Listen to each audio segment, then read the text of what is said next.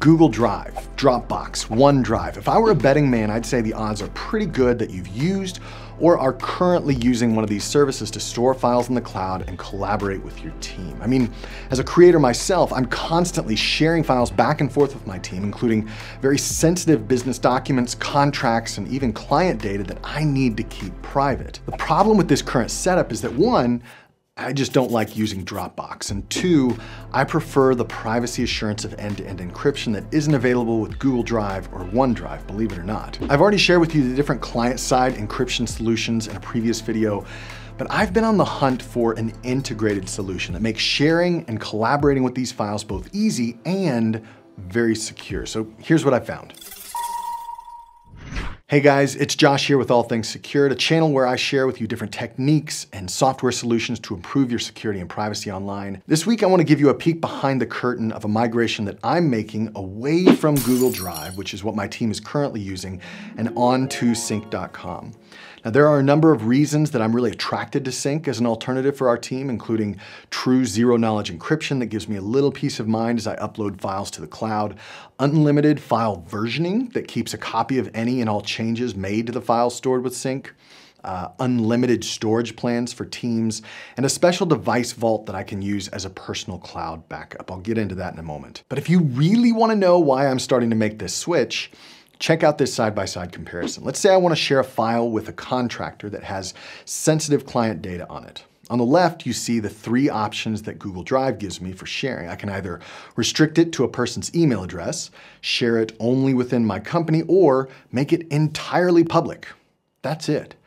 By contrast with Sync, which you see on the right, I have the ability to create a link to the shared file that has a password, an expiration date, permissions, a download limit, and even the option for enhanced privacy, which basically adds an additional layer of end-to-end -end encryption to the shared link. Now, on top of that, I have the ability to create shared folders for specific teams or groups of people.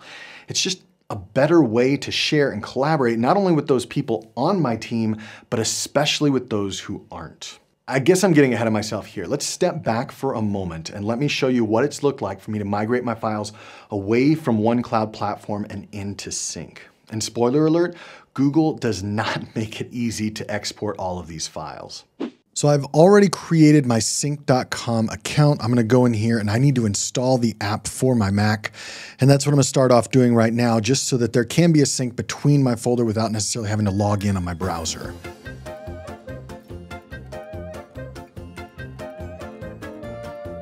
Now, I do have 2FA enabled on my account. Uh, it is not the 2FA key, but it's the next best thing, which is using the 2FA Authenticator app, which can be done through a number of different apps, not just Google Authenticator. You've got Authy, you've got Yubico, so many other options out there. And that's what I've done here in order to make sure that I've got uh, my account secured as strong as it can be.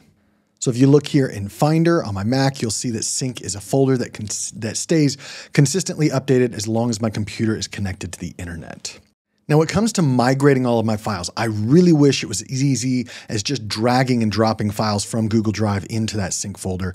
Unfortunately, that's not the case because a lot of what I have created within my drive is the Google Docs and the Google Sheets and all those things that don't export very easily. So what I have to do is I actually have to go into something called Google Takeout. So if you go to takeout.google.com, now I'm going to take, and I actually don't want to um, import or export everything, but I need to scroll down here into Drive, and then I want to include only the stuff that I want to have exported. So let's just say everything for all things secured. And then I'm going to go down here. I could do everything, including Gmail. But for now, I'm just going to do this. I'm going to export once and I'm going to make it a zip folder and exports larger than two gigabytes. I could change that. I don't think I have two gigabytes worth. We'll find out. But then I'm going to create an export. And what it's going to do is it's going to turn all of those Google Doc files into docx files or something that can be opened by Microsoft Word or something else other than just Google Drive folders because yeah, uh, we're not going to be using that right now. Uh, same thing for every other file um, and makes it into something that can easily be imported into Sync. So I'm going to go ahead and wait for that export to finish, and then I'm going to import it into Sync. Okay, the export has been completed and I need to download the data. It's going to be in two different files. And once that downloads, I'm going to import it directly into my sync folder. So I was able to get it. It's going to be in takeout and takeout one. Uh, I'm going to go ahead and put all of these and then bring them over into sync.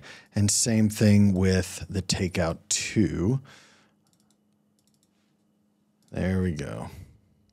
And you'll notice right here, it changed it into docx uh, and XLSX files. So basically files that can be opened by most um, Office type software, whether that's Libre or whether you use um, obviously Microsoft Office or even Google Docs will reopen these files. Now it's going to take time for Sync to upload all of these files uh, to the cloud in an encrypted vault so that way it can be downloaded and used on any of my, uh, any of my devices. By the way, in regard to my problems moving away from Google, Sync was very helpful in providing ideas on how to best do that. They offer toll-free phone support for Teams, which is really interesting, but the response I got with email was more than fast enough for me. At this point, based on my experience thus far, the ability to control how I share files internally and externally is amazing. And now I don't have to fiddle around with these different client-side encryption solutions, which basically means me having to encrypt my own files before I upload them to Google Drive or Dropbox or whatever. It's just, it's just easier with Sync. From a security standpoint, I like the fact that I can disable password reset on my account, which does present a little bit of a risk, but it also ensures that Sync will never get access, even temporary access to my encryption keys. I have the ability to secure my account with two-factor authentication apps, which you know I like, but unfortunately at this point they don't accept FIDO key standard yet. Data is stored on servers located in Canada, but since Sync doesn't have access to your encryption keys like other cloud providers do, the data we stored there isn't viewable even if it was somehow stolen or swiped in transit or whatever. But remember when I mentioned earlier about a personal vault for each device? Check this out. Now, right now, I'm using the Sync app on my iPhone. And if you see here on the bottom, we've got files, which is all the files that have now been synced across my devices for uh, my Sync folder. And then, of course, there's the Vault. Now, this Vault means this is only for my iPhone, this specific device that I use it for. And I can put a backup of my iPhone. I can put a backup of my photos. I can add specific uh, files or images that I want to into my Vault, and it will stay synced in the cloud for this specific device, but it's not going to be synced up to all of my different devices.